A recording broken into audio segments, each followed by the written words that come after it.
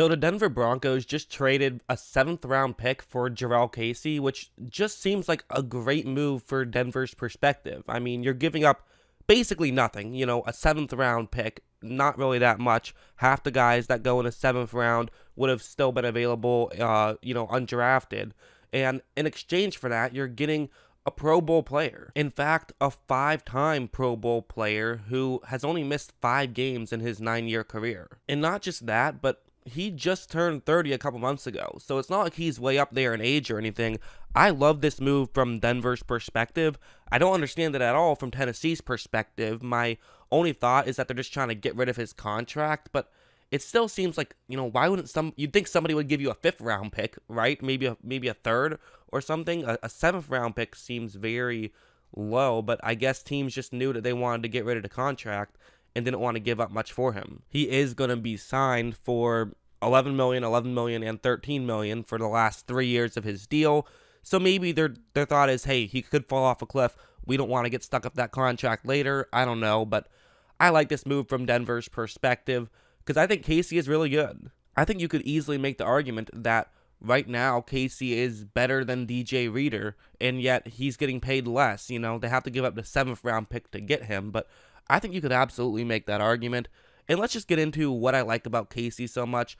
There's so many things he does well. Uh, we'll start things off with this play, where what's going to happen is that it's going to be play action to the left side of the screen. And so, to help sell the play action, what they're going to do is they're going to start off as though they're run blocking, and that's where Casey is. And so after the ball is snapped, you notice that he goes up and starts getting past uh, an Atlanta player. But the problem is that because of this sort of fake as though it could be a run, you now have another Atlanta player who can run over and push Casey around. So he's going to get a little bit blindsided right here. So this is not a great situation for Casey. However, watch how he barely gets moved when he gets pushed like that. And now at this point, I mean, honestly, the Atlanta player he was pushing got moved further away with that extra hit than, than Casey did. So now at this point, there's not too much you can do if you're an offensive lineman. I mean, you ideally want to try to push Casey out of the way, but let's be honest, that is a very difficult thing to do. I mean, he's just a big guy, quite frankly.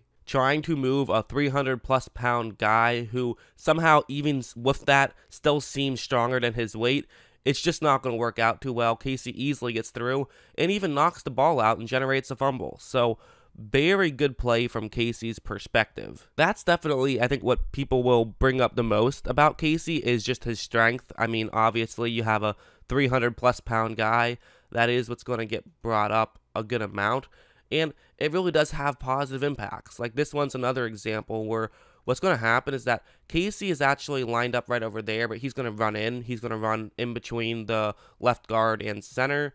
And then what they're going to do is they're going to pull another interior lineman around Hopefully, this will get the Tampa Bay players out of position and Casey can get through and try to get to Winston for a sack. And it worked out pretty well. I mean, as you see, Casey has some pretty decent leverage at this point, can absolutely help make a play, but again, you know, we'll have to see how this works out. We've definitely seen offensive linemen come back from worse positions than this. However, Casey does a very good job of getting around, getting to Winston. In fairness, he had a little bit of help from Winston, not really having great pocket presence there. Didn't realize that there was pressure in front of him and tried to step up in the pocket. So that absolutely played to Casey's benefit.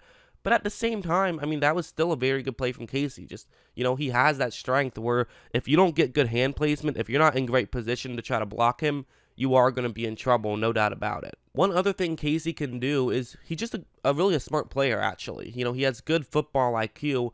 And this plays a good example of it where what's going to happen is that Tampa Bay is going to have their center and their right guard basically those are the assigned men that they're supposed to go up against. And the reason for this is because, you know, Tennessee has six guys currently on the line.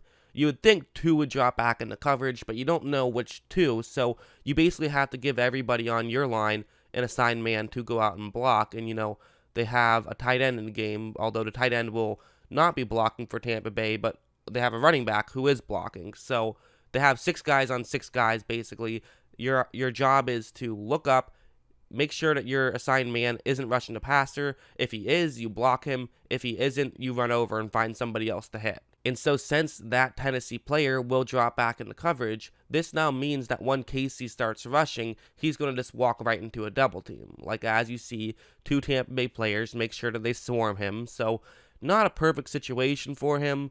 The one bright side as of right now is that that Tennessee player is doing an okay job of basically just trying to get to the inside of the tackle. But, you know, Tampa Bay's all over that as well. They're going to have their right guard run over and block that out of the way. So, as of this point, not a great situation for Tennessee, but Casey has an idea. Casey realizes that because of this, because the edge rusher is running to the inside of the tackle, this means a couple of things. One, it could mean that Jameis is just going to try to run outside the pocket, so that's something you could have in your your head because you know containment has been given up. But two, it also tells you that the tackle is going to have to move to the inside, creating almost a, a natural twist in a sense. So he's going to run over and try to get to where that part of the play was, and he actually is able to get the Winston. Doesn't get the sack, Winston gets it off, but was still able to completely disrupt that play. And, you know, oftentimes as when you're trying to rush the passer, the important thing isn't necessarily always to get the sack, but just to disrupt a play, and that's what Casey was able to do. But honestly, as good as Casey is as rushing the passer, even from the inside, where he thrives is in the running game. That's obviously where, you know, a 300 pound interior lineman is going to thrive in the running game, you would expect. So, uh, at least, you know, that's why you would have someone like that on your team. And he absolutely can really thrive in the running game. This play is a good example where it's basically going to be a one on one matchup against the center. I say basically because the right guard is going to block him for a quick second before moving up to block a linebacker, but it's pretty much going to just be a one on one matchup. However, watch how Casey starts this off by just easily winning that one on one matchup. Look how far he pushed Tampa Bay center Ryan Jensen far back. I mean, an easy couple of yards right off the bat. And now at this point, you look at their right guard, he can't get over to block the Tennessee player he's trying to block. Because Casey did such a good job of winning his own one on one matchup, there's just no space and he's still even able to run over and help make this stop. Just a really good play by Jurrell Casey. And one other play is this one, where what's going to happen is that basically Casey is going to get double teamed, and then what's going to happen is that the left tackle is going to move up to block a linebacker. So for Casey, I mean, his job at this point is not to dominate the double team. I mean, that doesn't really happen. His job is to just not get destroyed on the double team, you know, not allow himself to get completely moved out of the way, try to stay in his spot as much as he possibly can. And watch how right after the ball is snapped, he doesn't get moved whatsoever. I mean, he's pretty much exactly where he was when he started. You know, he does not allow himself to get pushed whatsoever, and he is now in a pretty good spot because, you know, Tampa Bay's left tackle, Donovan Smith, he's at a point right now where if he continues to try to block Casey, then the linebacker is going to just run through the hole and be able to disrupt this play. But at the same time, if he doesn't continue to block Casey, then Casey can get into play, and that's what's going to happen. He doesn't block Casey. Casey's able to get his right arm out, help make the tackle, and that's just what this guy can do. I mean, he's a great pass rushing guy from the inside. He's a great, and I mean great, run stopper. And he's still playing at a high level. He hasn't fallen off any cliff or anything. In fact, he's one of the more durable players so far. He's been very fortunate when it comes to comes to injuries. So that's just another small factor in all of this. I think the logic from Tennessee's perspective is simply that he would have probably been their third best defensive lineman next year. And just their thought process is we don't want to spend so much money on one position. Let's try to clear some of that up. I'm assuming that they have somebody that they plan on paying because it doesn't make sense to clear up money just to have more money. You know, you would think that they're going to probably make some sort of move, but I don't know. I mean, only getting a seventh round pick for a five time Pro Bowler, it's just kind of it's it's a weird thing. Uh, it it seems like they probably could have gotten more value, but I don't know. I mean, some of these trades in the NFL are weird, and you know, at least if you're a Titans fan, at least you didn't trade DeAndre Hopkins for a second round pick. So you have that going for you. But yeah, I mean, I think this is a steal for the Denver Broncos. I really do. I think if you're a Denver Broncos fan, you're saying, let's go. I mean, we have Von Miller, Bradley Chubb, now Jurrell Casey on the inside. Not to mention, you have someone like Derek Wolfe, who's a very good player. And you even had Mike Purcell, who kind of had a breakout year. So they have some real guys who can really play. And I mean, adding another defensive lineman is almost always a good thing. I love this move from Denver's perspective.